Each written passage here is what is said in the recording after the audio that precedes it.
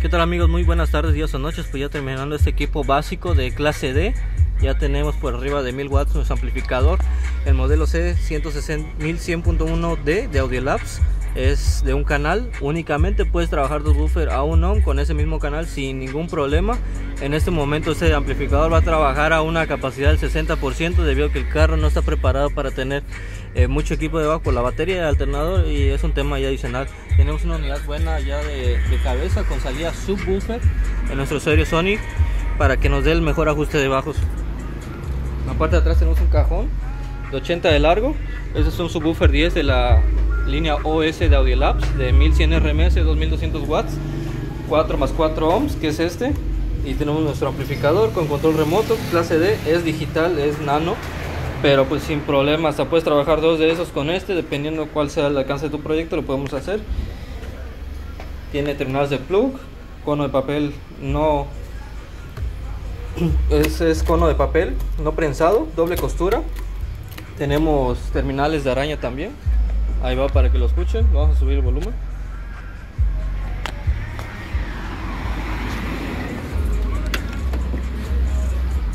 Ay. Vamos a ponerlo desde cero esta. Ya saben que es la canción de preferible para, para el equipo de sonido.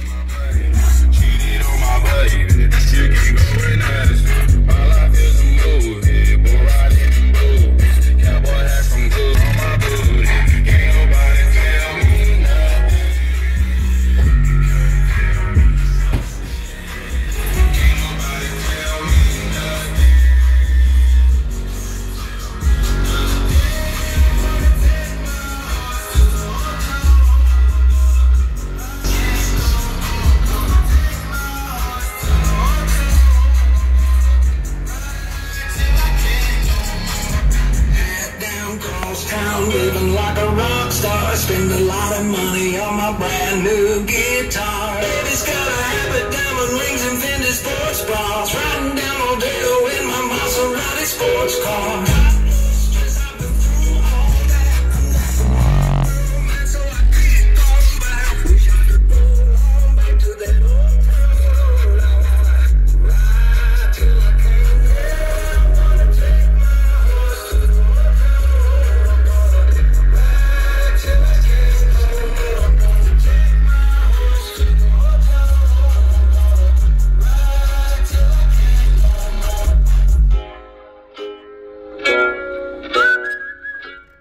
Quedó nuestro viejo confiable mini amplificador de tamaño más pequeño en la línea Monster SPL. Cualquier duda, presupuesto de instalación. El cajón es MDF, eh, forrado en negro. Tiene terminales de plug.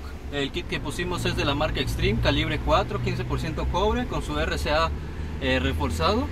Y nuestro portafusible aparte adelante. Cualquier duda, presupuesto de instalación. Les habla su amigo de LED Car Cancún.